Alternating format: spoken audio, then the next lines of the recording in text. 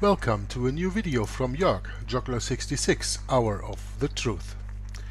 Today is uh, Sunday the 4th of March 2018, evening already.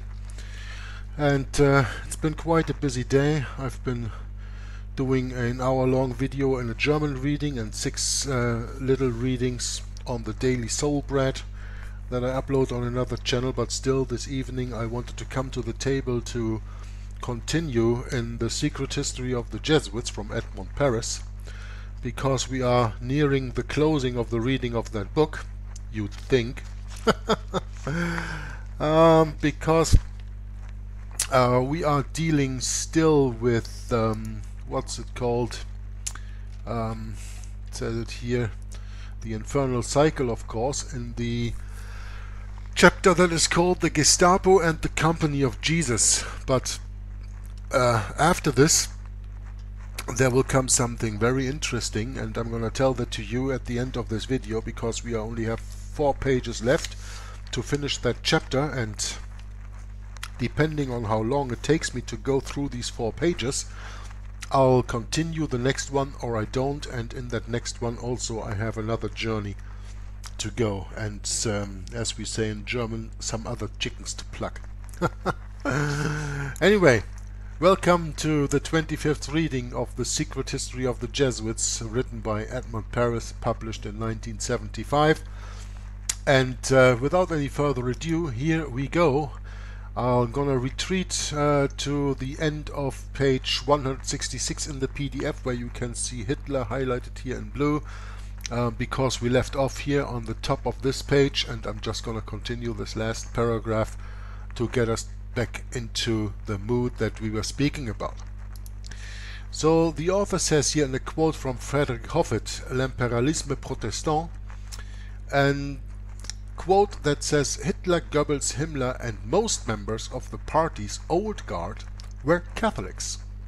It was not by accident that because of its chief, chief's religion, the National Socialist government was the most Catholic Germany ever had. The National Socialist government was the most Catholic Germany ever had. So this means this was even more Catholic than the time when the Germans were most of the times the emperors of the quote-unquote Holy Roman Empire of German nation between 800 and 1800. Yeah? The National Socialist government was the most Catholic government Germany ever had. This kinship between National Socialism and Catholicism is most striking if we study closely the propaganda methods and the interior organization of the party. On that subject nothing is more instructive than Joseph Goebbels' work. He had been brought up in a Jesuit college and was a seminarist before devoting himself to literature and politics. Every page, every line of his writing recall the teaching of his master. So he stresses obedience, the contempt for truth. Some lies are as useful as bread, he proclaimed, by virtue of a moral relativism extracted from Ignatius of Loyola's writings. Hitler did not award the palm of Jesuitism to his chief of propaganda, though to the Gestapo chefs, as he told his favorites, quote, I can see Himmler as our Ignatius of Loyola. Himmler, the chief not of the Gestapo but of the SS, the Schutzstaffel. Okay, let's just see if I have a picture of Goebbels here. I'm not sure. Should have, of course. Here we have the German propaganda minister Goebbels at a speech and uh, we are continuing now on this page 168. To speak thus, the Führer must have had some good reasons. First of all, we notice that Kurt Heinrich Himmler, Reichsführer of the Schutzstaffel SS, of the Gestapo, which stands for Geheime Staatspolizei, and German police forces, so these were all combined, and he was the chief of them all, seemed to be the one most impregnated by clericalism amongst the Catholic members of Hitler's entourage. His father had been a director of a Catholic school in Munich, then tutor of Prince Ruprecht of Bavaria. His brother, a Benedictine monk, lived at the monastery of Maria Laach, one of the pan-German high places. He also had an uncle who had held the important position of canon court at the court uh, of canon at the court of Bavaria, the Jesuit Himmler. And I'm gonna show you a picture of him directly. His name is Gebhard. And he was a confidant of um, Ledochowski. Means he was very close with the general superior of the Society of Jesus at that time, Halke von Ledochowski. This high Jesuit, Gebhard Himmler, was the uncle of Heinrich Himmler, the chief of the SS. And this is why we can be certain, absolutely certain, that everything was Jesuit controlled. The German author Walter Hagen gives also this discreet information. Quote, the Jesuits general Count Halke von Ledochowski was ready to organize on the common basis of anti-communism some collaboration between the German Secret Service and the Jesuit order. Unquote. As a result, within the SS Central Security Service, an organization was created and most of its main posts were held by Catholic priests wearing the black uniform of the SS. The Jesuit Father Himmler was one of its superior officers, and here we are talking about him, Gebhard Himmler, the one you don't know, not Heinrich Himmler, the one who is always in the spotlights. After the Third Reich's capitulation, the Jesuit Father Himmler was arrested and imprisoned at Nuremberg. His hearing by the International Tribunal would have apparently been most interesting. But, quote-unquote, Providence was keeping a watchful eye. Heinrich Himmler's uncle never appeared before that court. One morning he was found dead in his cell, and the public never learned the cause of his death. Well, do I really have to tell you what happened?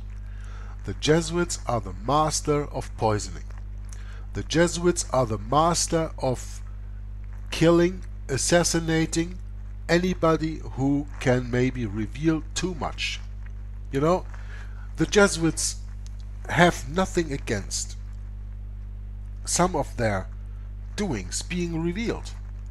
That is why people like Malachi Martin, who is a Jesuit himself, some people say he was a Jesuit, and I tell you the only way to not be a Jesuit anymore once you become a high professed Jesuit, as Malachi Martin did, was when you uh, when you are being brought out of the room feet first. Malachi Martin, in his book, among other books, The Keys of This Blood, revealed some secrets and inner doings of the Jesuit order. But you have to understand, as Tupper Saussy told us in his book Rulers of Evil, that when a Jesuit, and certainly a high-ranking Jesuit, writes a book, and especially a book about his order, he has the approval of the general of the society. So they are not telling you anything that they really do not want you to tell. This is also a very important point in that book that I'm reading for the moment with Brett uh, Norman, Codeword Barbelon. There are so many secrets in here, but a lot of these secrets are just told by other people and like the Secreta Monita, the constitutions of the Jesuits, were made public during a trial, a public trial. So that's something they could not prevent to happen. But for the rest, the Jesuits give the information they want to give. And that is something that you have to understand. So, when we read here, as we just read, that Heinrich Himmler's uncle never appeared before that court, he was found dead in a cell, it is sure that they thought that when he had to appear before that court, he would have to answer questions they didn't want him to answer, and therefore he got killed. Or killed himself. You know, a lot of the German high-ranking Nazis at that time had capsules with arsenic in their uh, in one of their tooth hidden, and they just bit on it when they wanted to kill themselves. Anyway, let's see if we have a picture of uh, the real Himmler, I call him. you know, this one. Oh, let's take this picture. It's better. Heinrich Himmler and Martin Bormann in Quedlinburg. So, continue. We will not insult the memory of this cleric by supposing that he willingly ended his days against the solemn teaching laws of the Roman Church. No, he didn't need to, even though they are taught to do that. You have to understand a Jesuit does everything a superior tells him if it is for the good of the church. Everything. There are no rules of no suicide. If the church is the gainer in the end, you can even commit suicide. I mean, what did Captain Smith do when he uh, sank the Titanic? he knew he wasn't getting out of there. so, he committed suicide too. So I don't agree with this author when he says um, that we will not insult the memory of this cleric anyway. I insult the memory of this cleric as much as possible by exposing him as the Jesuit and therefore an enemy of God that he was, by supposing he willingly ended his days, even if he didn't do, then he was poisoned. Anyway, the Jesuits took care that he didn't appear before that tribunal. Nevertheless, it says, his death was as, sudden, was as sudden and opportune as the one of another Jesuit some time before, Father Stempfle, the unrecognized author of Mein Kampf. Strange coincidence indeed. Yes, you know, Father Stempfle was sent to a concentration camp, Dachau, and there he died in 1934. But let us come back to Kurt Heinrich Himmler, chief of the Gestapo. That's him here which meant he held in his hand the essential reins of power of the regime. Was it his personal merits which earned him such a high position? Did Hitler see in him a superior genius when he compared him to the creator of the Jesuit order? It is certainly not what the testimonies of those who knew him imply, as they saw in him nothing more than mediocrity. And that's the point. Himmler was no more than mediocre. Yeah? But he was an actor. Like Einstein was an actor, like Shakespeare was an actor, like so many other people, uh, Marx and Engels who were Jesuit trained, but just acting. They weren't that smart. Himmler wasn't smart, Hitler wasn't smart, but they could be indoctrinated and they were good learners in the way that they said the things that they were indoctrinated. They could just repeat it, they could parrot everything. But actually they were mediocre. But they were possessed by demons. Because that's the working of Satan, that's how he works. Uh, that's in a way, of course not in the same way, but in, in a way God works too. But the Holy Spirit of God does not possess people, He does not take over people, but He inspires people to do something. The fallen angels of Lucifer, the fallen angels that came here with Satan on earth, those are possessing people and taking over. So this is not the same, but I just want to give you an idea when you understand the working of the Holy Spirit through the through people, all through the ages, yeah all the people, for example, who wrote the Bible were inspired by the Holy Spirit and led by the Holy Spirit. These people that you see on the picture are also led by spirits, but not by the Holy Spirit, but by demons. And those can actually take care that these people do some deeds that you wouldn't expect from them because they are actually, when it comes to the people themselves, mediocre. Okay? That's just the point that I want to make. Just have to check my camera here. Was that star shining with a borrowed brightness? Was it really Kurt Heinrich Himmler, the ostensible chief, who actually reigned over the Gestapo and the secret services? Who was sending millions of people deported for political reasons and Jews to their death? Was it the flat-faced nephew or the uncle, former canon at the court of Bavaria, one of von Ledochowski's favorites a Jesuit father and superior officer of the SS? Gebhard Himmler, who we spoke about. Who was it? Gebhard or Heinrich? This one or this one? Well, most of the times, and in this case it's the same, it's the guy in the back that you don't know. Himmler was the puppet they put in front, he was mediocre. Gebhard Himmler, his uncle, he was not mediocre. Let me assure you of that. It may seem reckless and even presumptuous to take such an indiscreet look behind the scenes of history. The play is performed on the stage before the combined lights of the footlights, the stage lights and the arc lights. This is normal for any show, and the one who wants to see behind the props may well be regarded as troublesome and ill-bred. However, the spell-binding actors on whom the public's gaze is fixed have all come from behind the scenes. This is more than evident when we study these sacred monsters and realize that they are far from equal to the individuals they are supposed to represent. Such seems to have been the case of Himmler. But wouldn't it be right to say the same on the one whom he helped at his right-hand man, Hitler? When we saw Hitler gesticulating, gesticulating on the screens or heard, or heard him bawling his hysterical speeches, did we not have the impression of looking at the movements of an automaton, ill-adjusted with overstretched springs? Even his most simple and composed movements reminded us of a mechanical puppet. I just have to get a picture from Hitler into here that we can have the right picture during this reading here. Okay, let's see. What's this? Oh, okay. Uh, where's a good picture of Hitler here? Let's see. Let's take this one. Okay. So, continuing.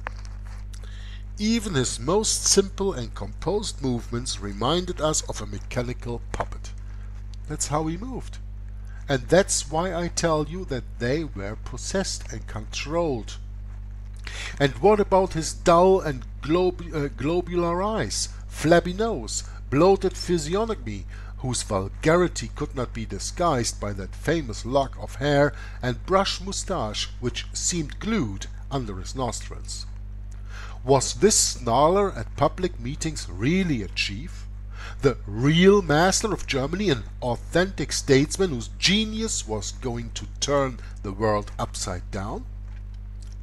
Or was he just a bad substitute for all that? A covering skin cleverly blown up, and a phantom for the use of the masses, a rebel rouser? He himself admitted it when he said, I am only a clarion.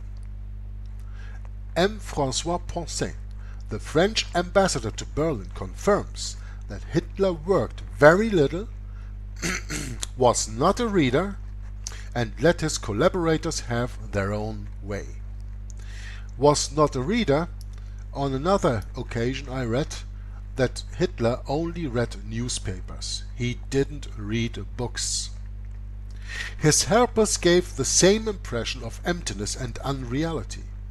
The first one, Rudolf Hess, who flew to England in 1941, looked on his own trial at Nuremberg as a total stranger, and we never learned if he was completely insane or just a lunatic. The second one was the grotesque Goering, vain and obese, who wore the most spectacular comic opera uniforms, a glutton, a great robber of paintings, and, to top it all, a morphine drug addict.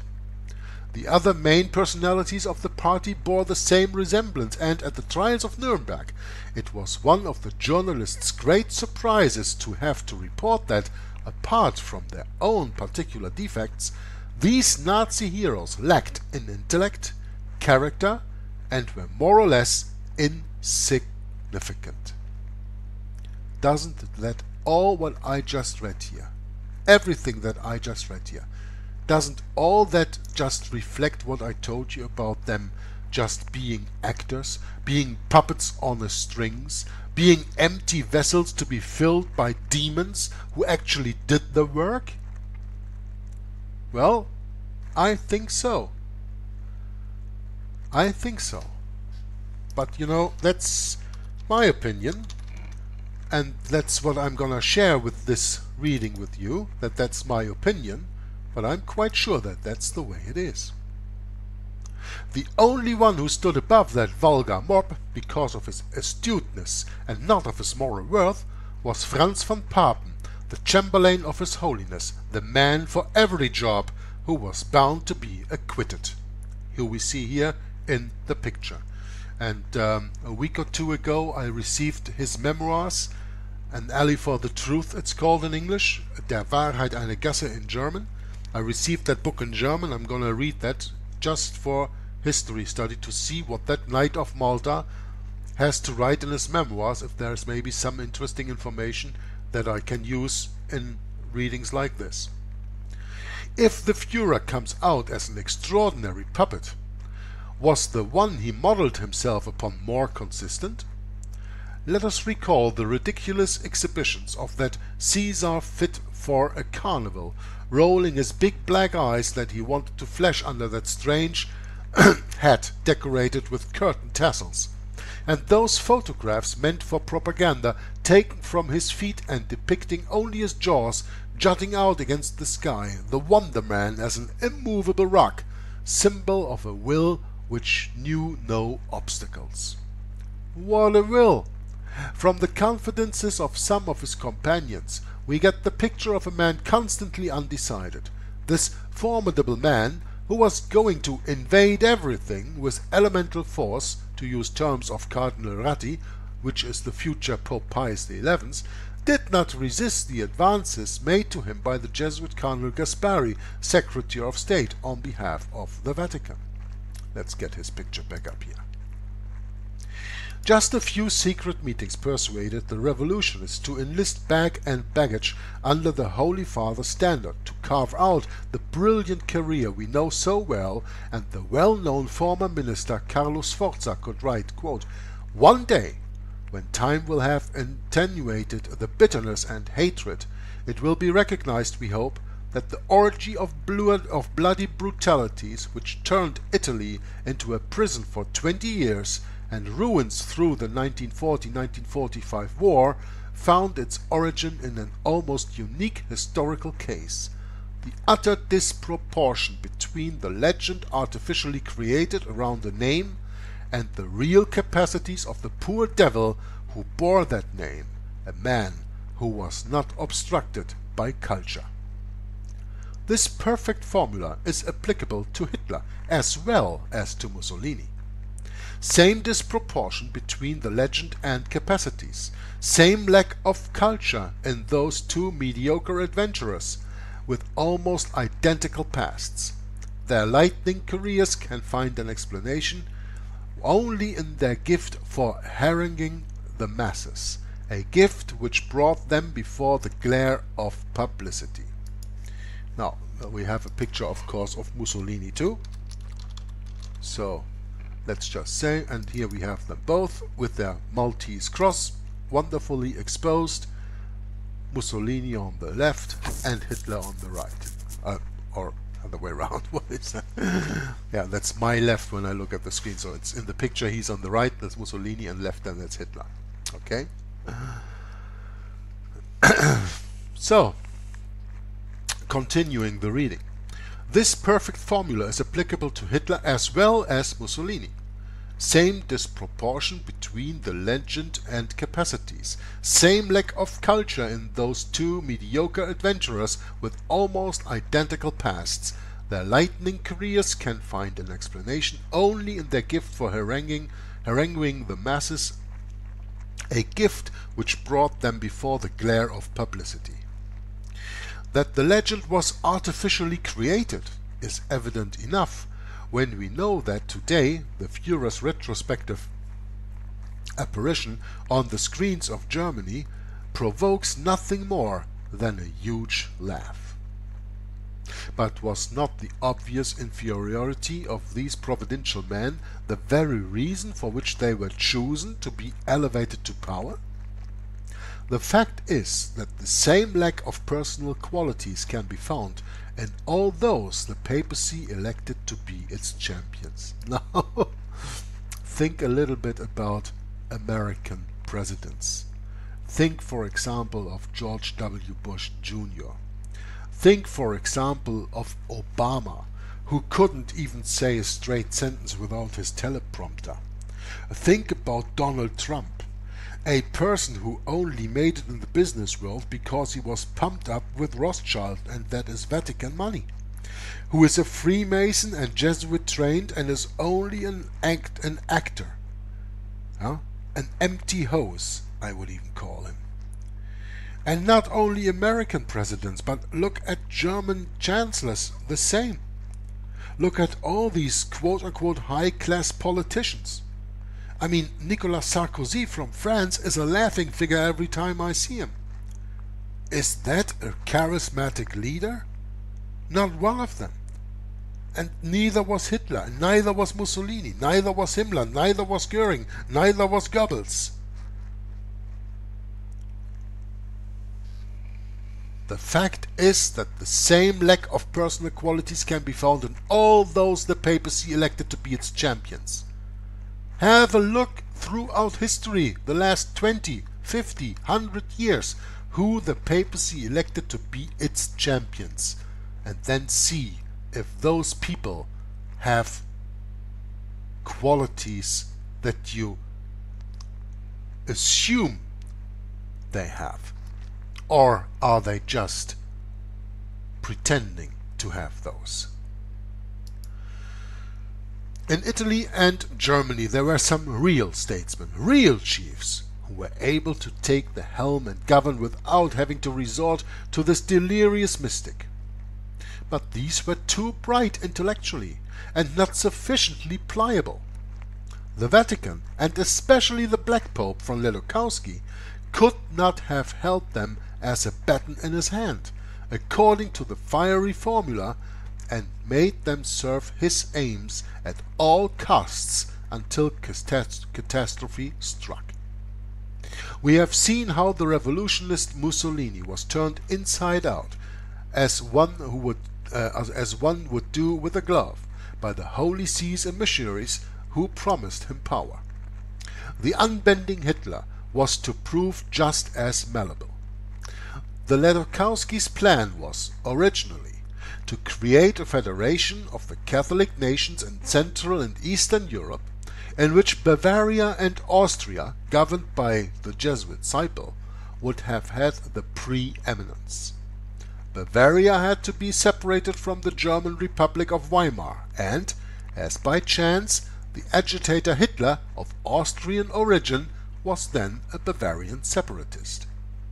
But the chance to realize this federation and place a Habsburg at its head became more and more slim whilst Monsignor Pacelli, the nuncio who had left Munich for Berlin, became the more conscious of the German Republic's weakness because of the poor support the Allies gave it.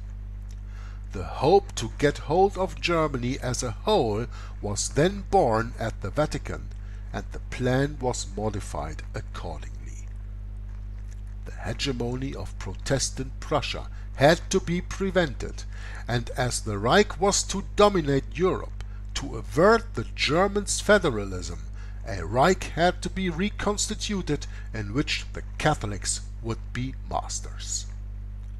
This was enough.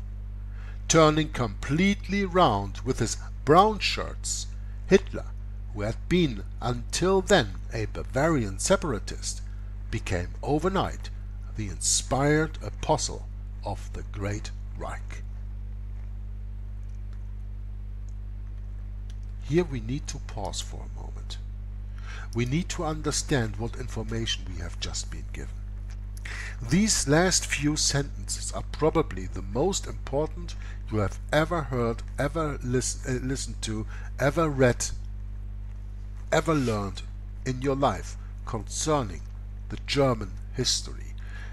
And it also gives you an idea why they did with Germany what they did with Germany.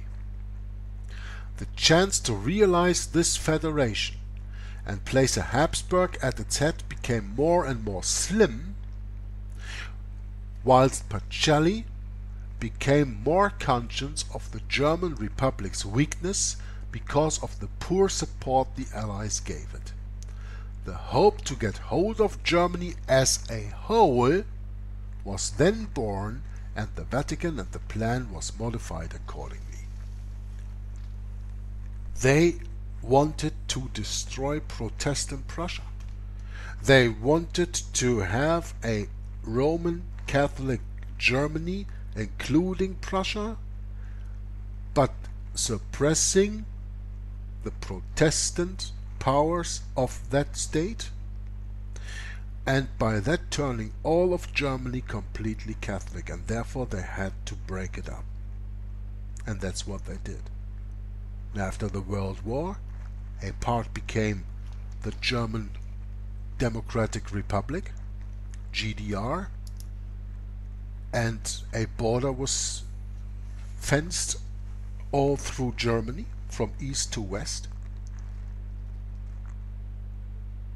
And the West got indoctrinated with American lifestyle, and the East got indoctrinated with Soviet lifestyle. And that's how the world is today. In Germany, at least. The West Germans think they are Germans, but they are actually the 51st state of America. And America is the second beast of Revelation 13. They are just puppets without understanding. Now the video has been only for half an hour so I'm gonna continue in the next chapter. But I want you to stand still a little bit on what I just read here. Turning completely around with his brown shirts, Hitler, who had been until then a Bavarian separatist, uh, to separate Bavaria together with Austria from Germany, became overnight the inspired apostle of the Great Reich. So all of a sudden, quote unquote all of a sudden, uh, it was all long planned, the Vatican changed its plans and instead of separating Bavaria and Austria from the Reich, they just took over the whole Reich and then destroyed it. Payback for Reformation. Payback for the 1872 abolishment of the Jesuit order by Chancellor Bismarck. Okay, we have come to chapter 6. And this chapter 6 is called The Death Camps and Anti-Semitic Crusade. Let us just have a picture here of the reading of the book. This one. The Death Camps and the Anti-Semitic Crusade. Now this chapter goes on for a few pages. Let's just have a little look. One, two, three, four, five, five pages. So this is not such a long chapter, right? 171.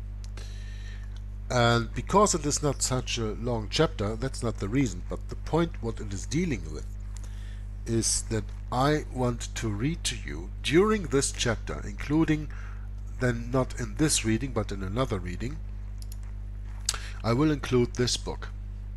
Not the whole book, but a part of it. It was written by Uki Goni. It is uh, published in uh, 2000 and 2002, first published. It is called the real Odessa because you have this um, uh, novel, the Odessa Files, from this belletristic author, I don't know his name anymore, that was quite successful, although also the movie.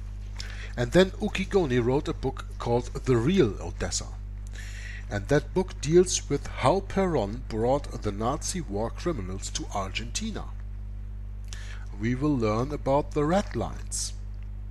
We will learn about how, with the help of the Vatican Red Cross and the Vatican monasteries and nunneries, German and Croatian, who we learned about in other readings, uh, war criminals were smuggled out of Europe and given new identities and new life in Argentina under the Peron regime. That's the book about. But chapter 3 of that book, the real Odessa, is called Undesirable Immigration. And I'm going to read to you before we're going to continue in the discussion of the secret history of the Jesuits the very first paragraph of that first uh, of that third chapter in the real Odessa.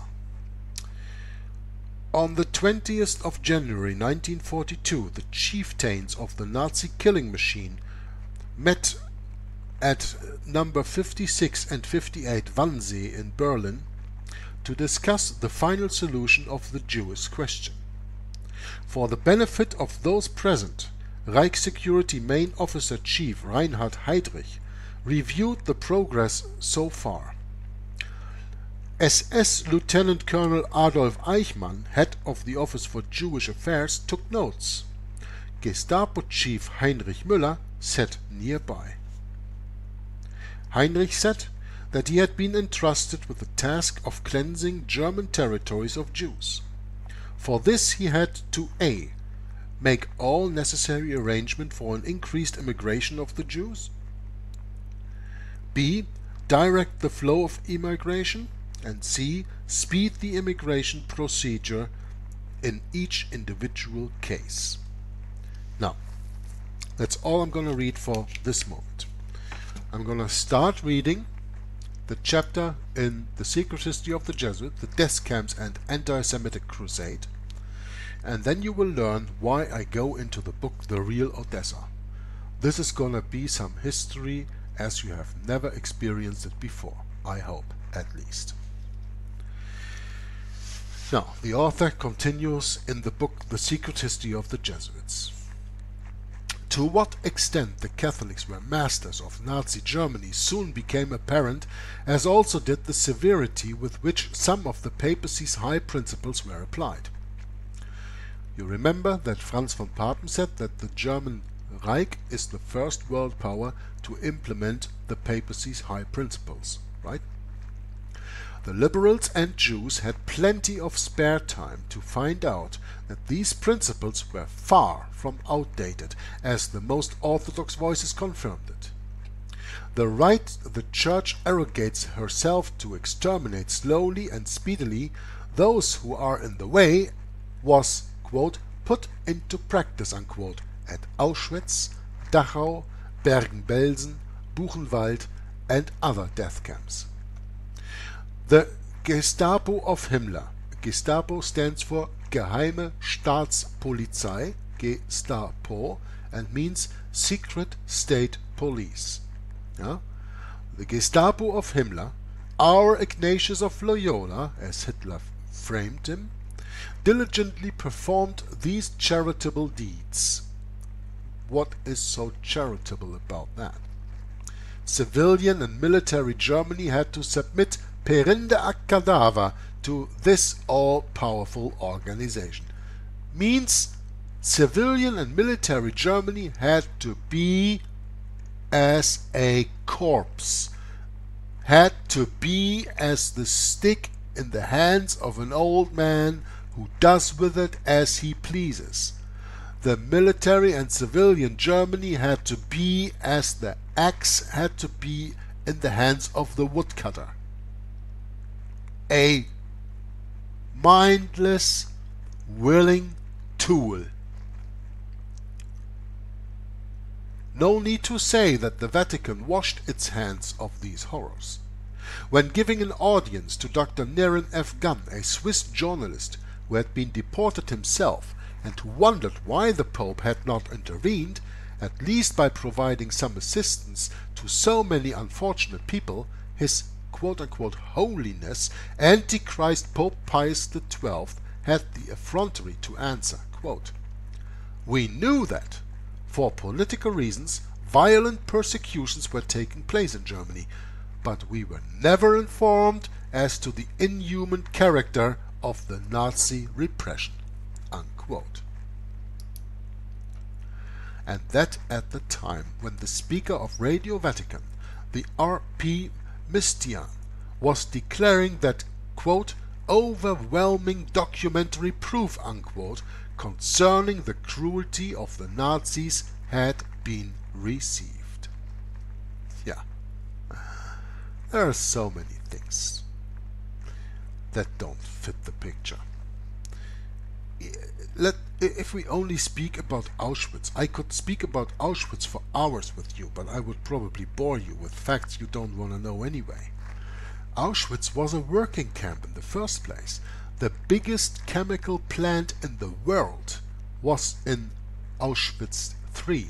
Yeah? You had three camps there, one, two, and three. Auschwitz III was the biggest chemical plant in the world at that time. The Allies flew over Auschwitz in Poland since the beginning of the 1940s, taking pictures. They knew everything that was moving in there. There was only one train line, one tra uh, train wreck that was going into Auschwitz. It would have been easy to destroy that and by that stop the flow of people being deported to Auschwitz for whatever reason. But first and for all, Auschwitz III, the biggest chemical company plant in the world at that time needed workers. Workers who didn't ask questions, workers who didn't need to be paid. Do your research in that. It's overwhelming what you can get. And here it says even so at the time when the Speaker of Radio Vatican was declaring that overwhelming documentary proof concerning the cruelty of the Nazis had been received. Without any doubt, the Holy Father was not informed either on what was going on in the Ustashi concentration camps, in spite of his own legate's presence in Zagreb. You remember Marconi, yeah, who was the nuncio in Zagreb? Who was there, who was direct under the Pope's supervision. And then the Pope still says, I have no knowledge of anything that happened with the Ustashis in the NDH. Come on. Once, though, the Holy See was seen to take some interest in the fate of certain people condemned to deportation. There were 528 Protestant missionaries, survivors of all those who had been taken prisoners by the Japanese in the islands of the Pacific and interned in concentration camps in the Philippines. M. André Ribard, in his excellent book 1960 and the Secret of the Vatican, reveals the pontifical intervention on behalf of these unfortunates. The text appears under number 1591, dated Tokyo on the 6th of April 1943, in a report from the Department for Religious Affairs in occupied territories, and I quote the following extract. It expressed the wish of the Roman Church to see the Japanese pursue their politics and prevent certain religious propagators of error to regain a freedom to which they were not entitled. From the quote-unquote Christian point of view, this charitable step needs no comment. But is it not most significant politically speaking? In Slovakia, as we know, Monsignor Tiso, the Jesuit Gauleiter, was also free to persecute the separated brethren, even though Germany, to which his state was a satellite, was mainly Protestant. it says a lot about the influence the Roman Catholic Church had in the Hitlerian Reich. We have also seen the part played in Croatia by the representatives of that church in the extermination of Orthodox believers. As for the anti-Jewish crusade, the Gestapo's masterpiece, it may seem superfluous to mention again the part played in it by Rome, as we have already related the exploits of Monsignor Tiso, the first provider of Auschwitz gas chambers and crematoria furnaces. We will just add a few characteristic documents to this dossier. First of all, here is a letter from M. Leon Berard, ambassador of the Vichy government to the Holy See. You know, Vichy was the um, France government at that time. Marshal Pétain, sir, and we learned about Marshal Pétain before, right?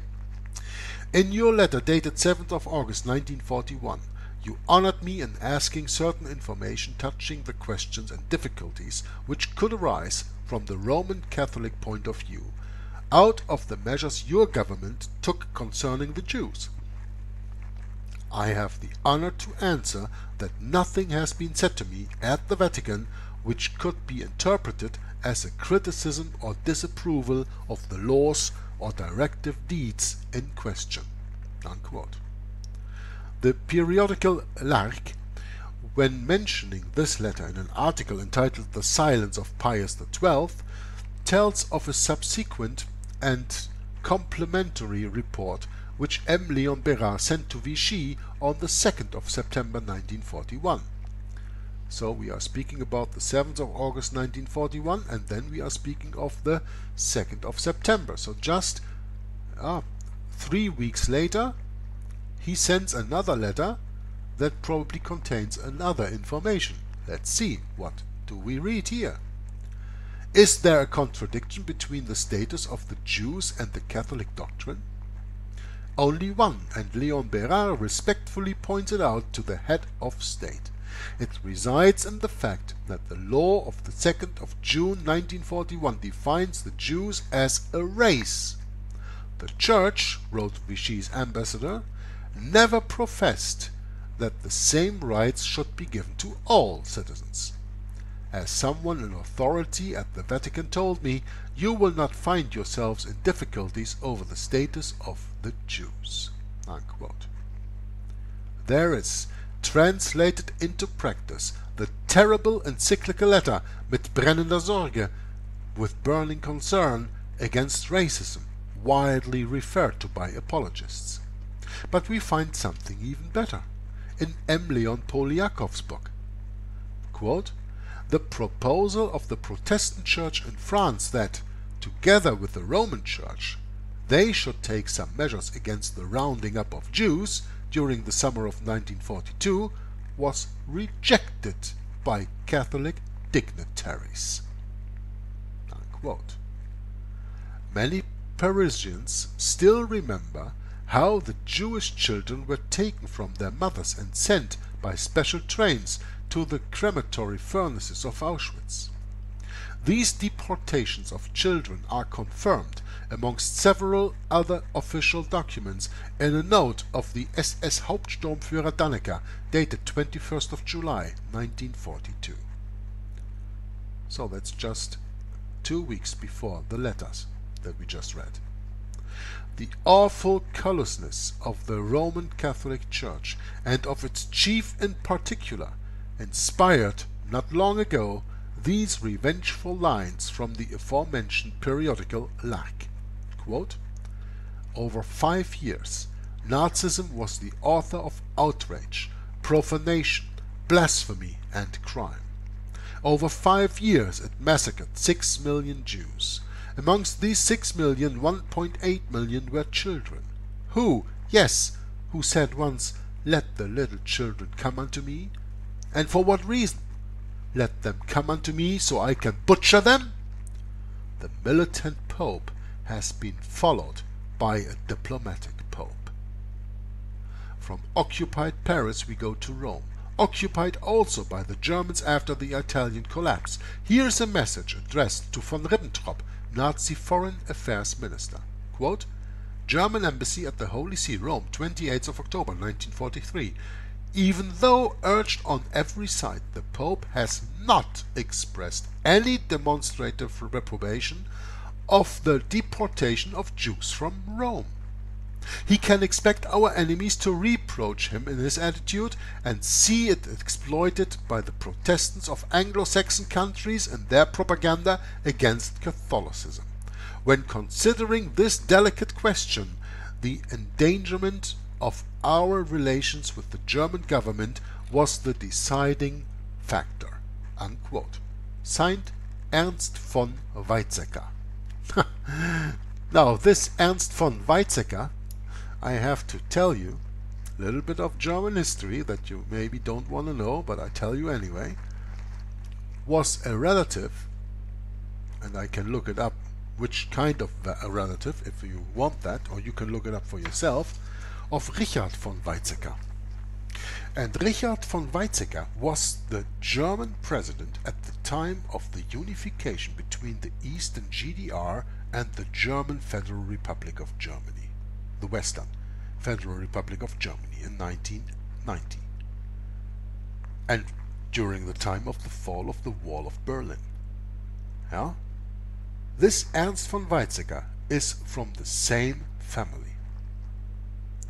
When relating the career of this Baron von Weizsäcker, tried as a war criminal for having prepared extermination lists, Le Monde of the 27th of July 1947 wrote, quote, Perceiving a German defeat, he had himself appointed at the Vatican, taking this opportunity to work closely with the Gestapo, Geheime Staatspolizei, Polizei, Secret State Police. Unquote. For the benefit of our readers not yet fully convinced, we will quote the following official German document which sets out the Vatican's dispositions. dispositions and those of the Jesuits taught the Jews before the war. Quote, Studying the evolution of anti-Semitism in the United States, we note with interest that the number of listeners to the radio broadcasts of Father Coughlin, a Jesuit, well known for his anti-Semitism, exceeds 20 million. The militant anti-Semitism of the Jesuits in the United States, as everywhere else, is not surprising on the part of these ultramontanes, as it is in the perfect accord with the doctrine. Let us see what M. Daniel Rops of the French Academy has to say on the subject. This author specializes in pious literature and publishes only under the auspices of the imprimatur. We read in one of his best known works, Jesus and His Times, published in 1944 during the German occupation.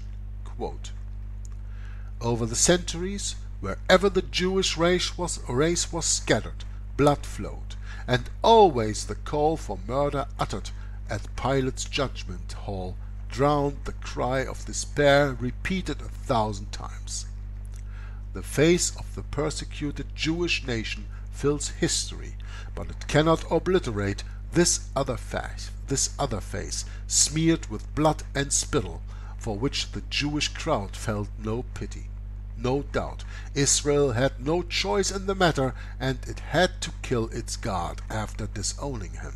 And, as blood mysteriously calls for blood, Christian charity may have no choice either.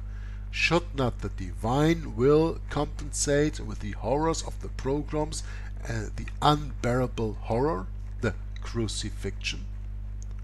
How well said! Or to put it more bluntly, if millions of Jews had to go through the gas chambers and crematory furnaces of Auschwitz, Dachau and elsewhere, it was their just desert. This adversity was wanted by the divine will and Christian charity would err if turning towards them. The eminent Professor M. Jules Isaac, president of the Amitié Judéo-Chrétienne, exclaimed when referring to this passage, quote, these terrible and blasphemous phrases provoke an unbearable horror themselves. Provoke an unbearable horror themselves, aggravated the more by a note which says, quote, Amongst the Jews today, some of them try to shrug off this heavy responsibility. Honorable sentiments indeed, but we cannot go contrary to the evidence of history. The terrible weight of Jesus' death which Israel must bear is not up to man to reject. Unquote. M. Jules Isaac brings to our notice that the phrases in question have been altered by the publisher in the more recent editions of this edifying book, that is to say, after the liberation. There is a time for everything, the crematory furnaces were outdated. So, from the doctrinal affirmation of the papacy's high principles to their putting into practice by Himmler, our Ignatius of Loyola, the ring is closed, and we will add the half-mad anti-Semitism of the Führer thus loses much of its mystery.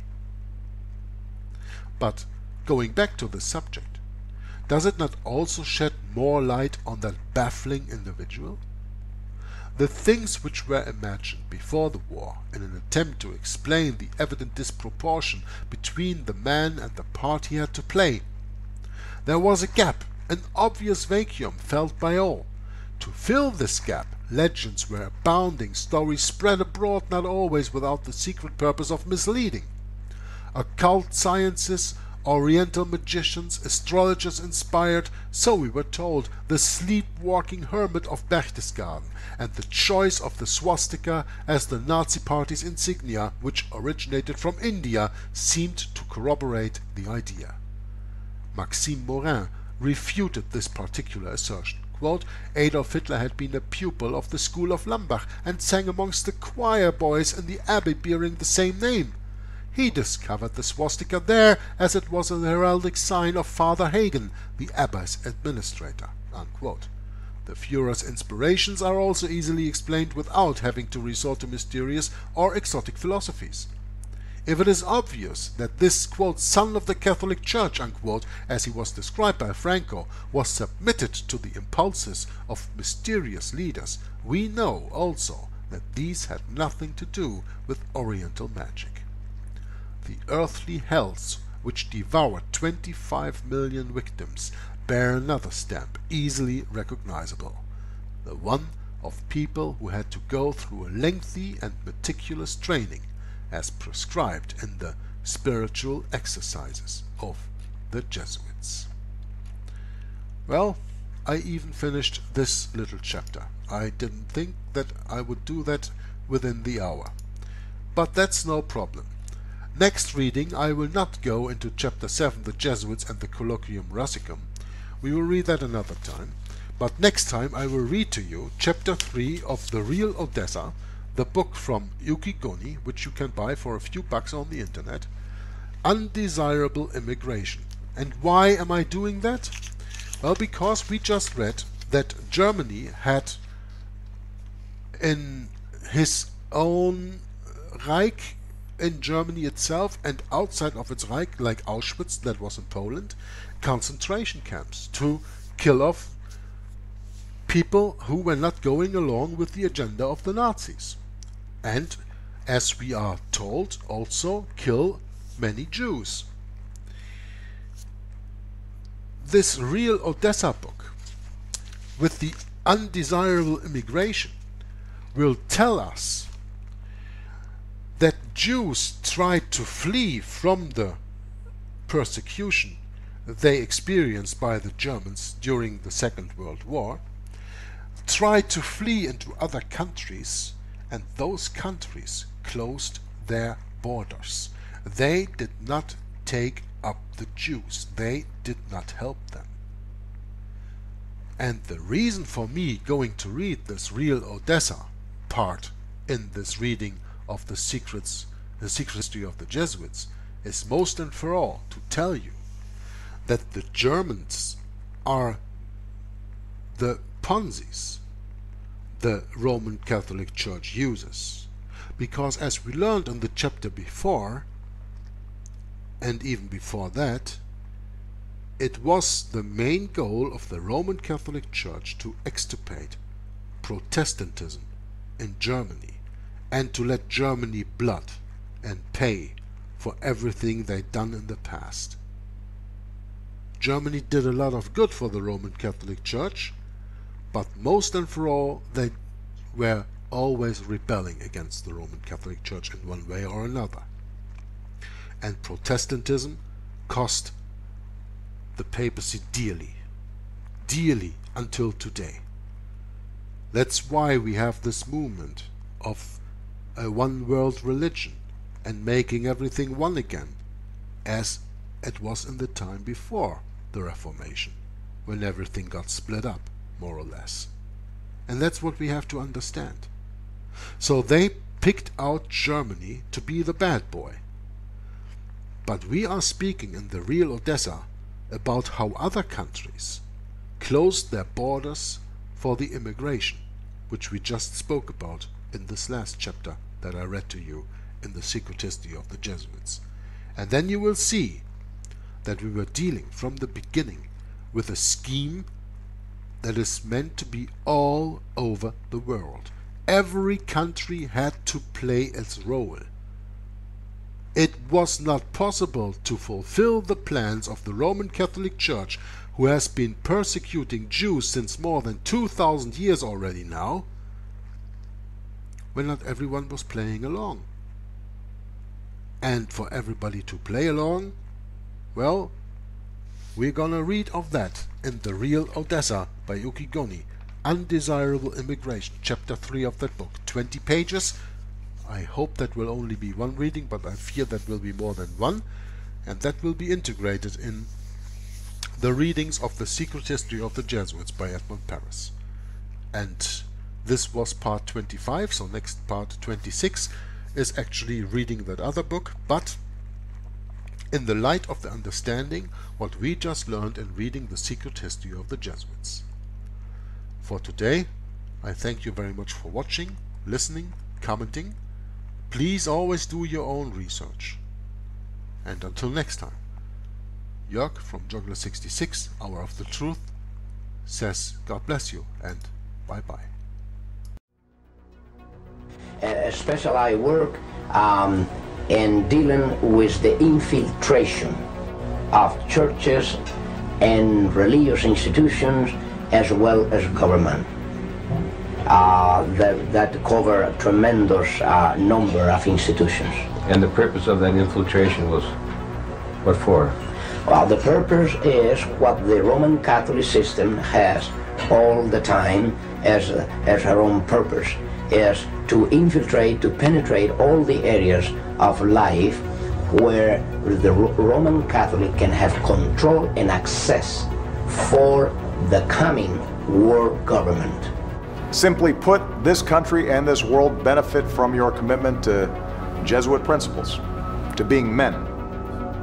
As a graduate of another great Jesuit institution, Xavier University, I have great affection for the value and purpose of a Jesuit education. What that means is in preparation for that world government, the Roman Catholic institution, especially since the establishment of the Jesuit order in 1541, throughout all these 500 years, they've been in preparation in and and through infiltration and penetration of every uh, level uh, of society in order to uh, take over uh, the world uh, politically and religiously. What a beautiful day Lord has made. Holy Father, on behalf of Michelle and myself, Welcome to the White House. There are two doctrines that define very well these uh, these dangerous goal of the Roman Catholic institution. Two doctrines uh, define this very well. One is called the doctrine of the apostolic succession, and that is dealing with the papacy. And the other is the doctrine, the temporal power, and that is dealing with world government.